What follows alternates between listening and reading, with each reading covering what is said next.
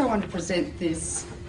It's present. It's produced by the New York Academy of Sciences, um, and it's a report on Chernobyl. Can be downloaded. Uh, they translated 5,000 articles from Russian the first time into English. It seems that nearly a million people have already died as a result of Chernobyl, despite what WHO says and the IAEA. This is one of the most monstrous covers up, cover-ups in the history of medicine, because everybody should know about this. Then we extrapolate through to Japan. Um, Japan is by orders of magnitude many times worse than Chernobyl. Never in my life did I think that six nuclear reactors would be at risk. I knew the three GE engineers who helped design these Mark I GE reactors. Uh, they resigned because they knew they were dangerous. So Japan built them on an earthquake fault. The reactors uh, partially withstood the earthquake, but the tsunami, but the external electricity supply was cut off, and the external electricity supply supplies the cooling water a million gallons a minute to each of those six reactors. Without the cooling water, the water falls and the rods are so hot they melt, like at Three Mile Island and at Chernobyl. So the emergency diesel generators, which are as large as a house, got destroyed by the tsunami. So there is no way to keep the water circulating in the reactors. Also, on the roofs of the reactors, not within the containment vessel, are cooling pools.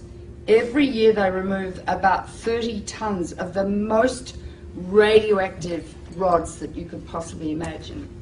Each one is 12 feet long and half an inch thick. Gives out so much radiation, like X rays, that if you stand next to it for a couple of minutes, you'll die. Not drop dead, but with. Remember Litvinenko, the Russian who got poisoned by polonium? You'll die like that, with your hair falling out, bleeding to death, and dying of massive infection, like AIDS patients die. Um, so these are, th- and they're thermally hot, so they have to be put in a big pool and continually cooled too. The pool has really no roof. There have been three hydrogen explosions blowing off the roof of the of the building, not the containment vessel of the core, but the roof, and exposing the cooling pool.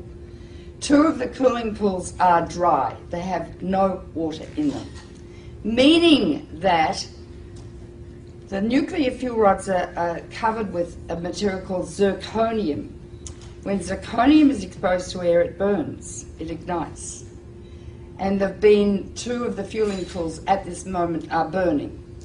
In the fueling the cooling pools are many times, you know, like uh, 10 to 20 times more radiation than in each reactor core.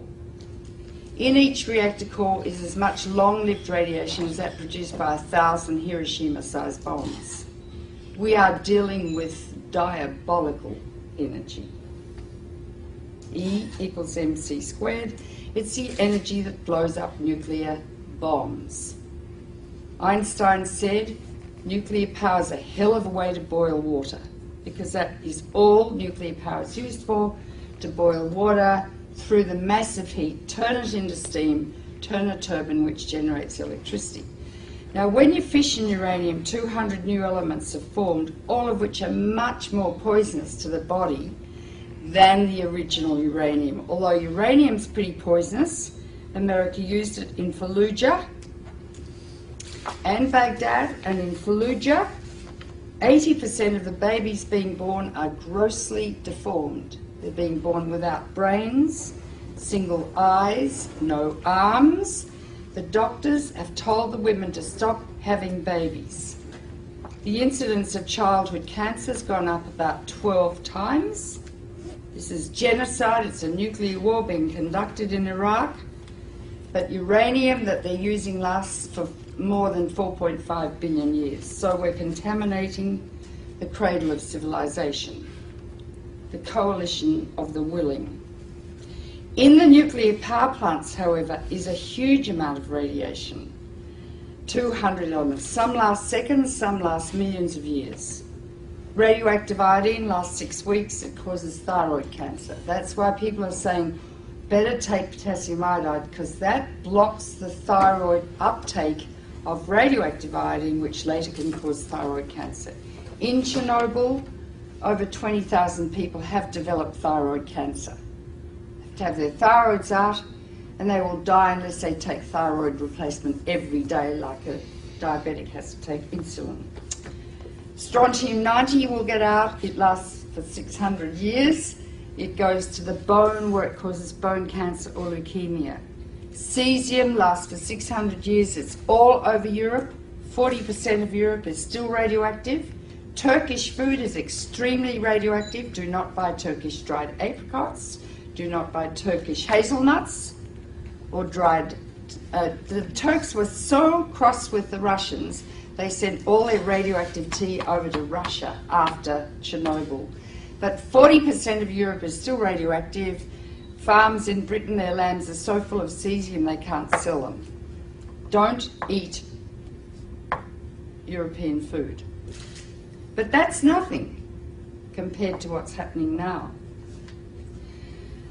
One of the most deadly is plutonium, named after Pluto, god of the underworld. One millionth of a gram, if you inhale it, will give you cancer. Hypothetically, one pound, if evenly distributed, could give everyone on Earth cancer. Each reactor has 250 kilos of plutonium in it, kilograms. You only need 2.5 kilograms to make a bomb because plutonium is what they make bombs with. It's the only country that has a reactor. From your uranium, you are the biggest exporters of uranium in the world, Cameco. Canada sells two things it sells wheat for life and uranium for death. Right? Plutonium is going to get out and spread all over the northern hemisphere, and it's already heading towards North America now.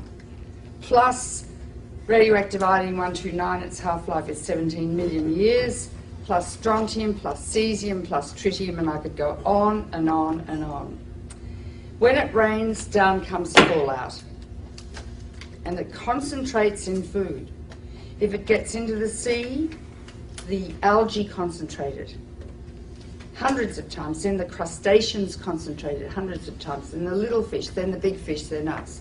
Because we stand on the apex of the food chain. You can't taste these radioactive elements, you can't see them, and you can't smell them. They're silent. When you get them inside your body, you don't suddenly drop dead of cancer. It takes five to 60 years to get your cancer.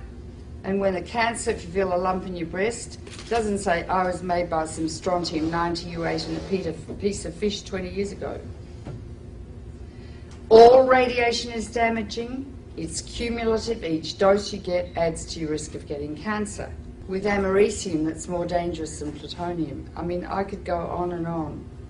Depends if it rains, if you're going to get it or not.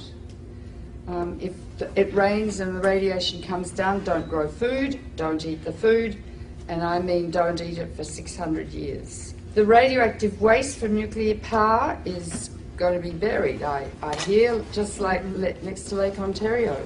It's going to leak, last for millions of years, it's going to get into the water, into the food chains. Radioactive waste will induce epidemics of cancer, leukemia, and genetic disease for the rest of time. This is the greatest public health hazard the world has ever witnessed apart from the threat every day of nuclear war. Einstein said the splitting of the atom changed everything save man's mode of thinking.